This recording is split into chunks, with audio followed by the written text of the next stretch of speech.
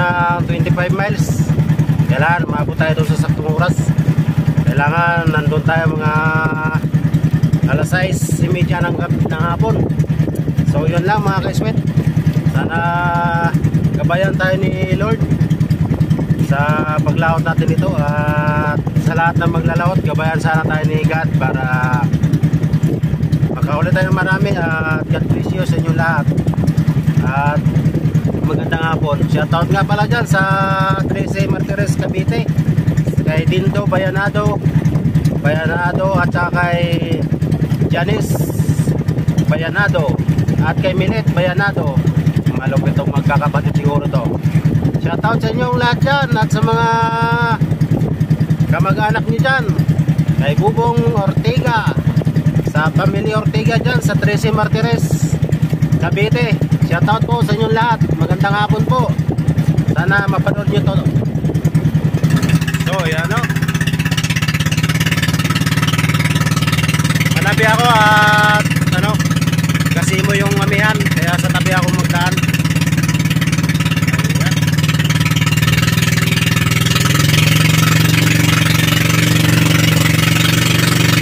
Meanwhile, Ayan. Pakulo, magpakulo na ako. Medyo malakas yung kanina kaya ako lang ngayon. Bago lang tayo magpakulo at malakas kanina.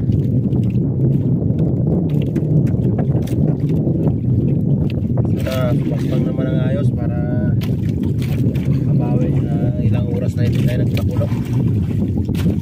Kaya ganun sobrang lakas. Kaya si Squid Hunter nakatulog din. Nakatulog siya sa sobrang lakas. Ngayon maayos naman natin.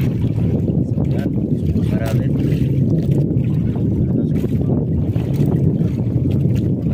Agad tayo ng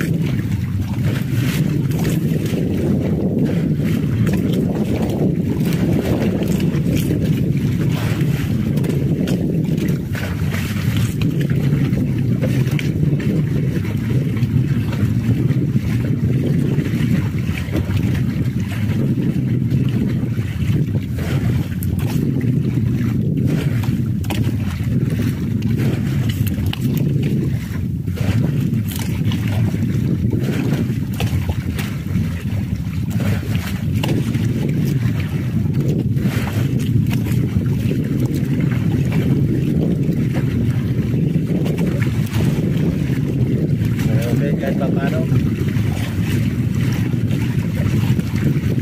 Nagaan lang.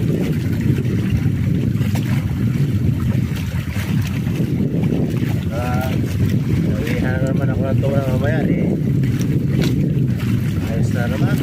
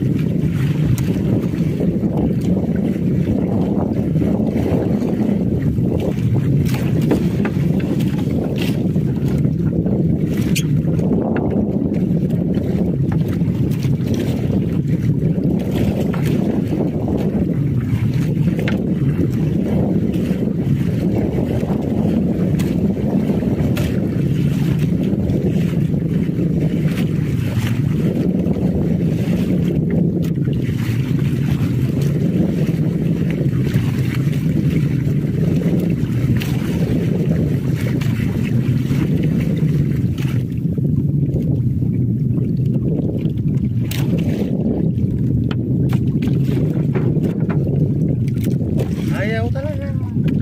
So, ayan mga kaiswid. Ayan mga kadagat, mandaragat. Kapwa ko dyan magkukulo. Kunti lang. Dalawang pakuluan siguro. Estimated mga 10 kilo o 15 kilos. O yan, dalawang pakuluan na yan, mahina. Mahina na dito sa tabi, mamaya ay takbo ako sa laot. Umaga na. Natin, pero dinawayan ako kanina, talak ito. Ito. Talak ito. Sarap to, pangulam.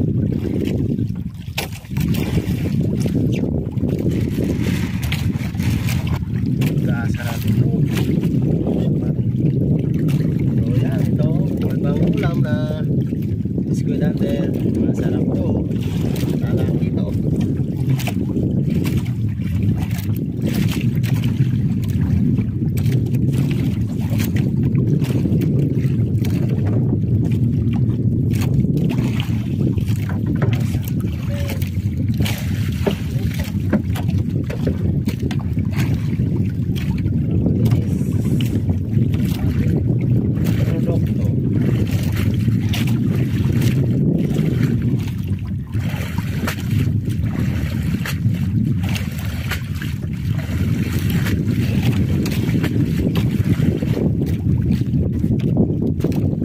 Talaga kahit anong linis mo, pwede pa rin. Pero mas maganda yung yung unang tinta niya ma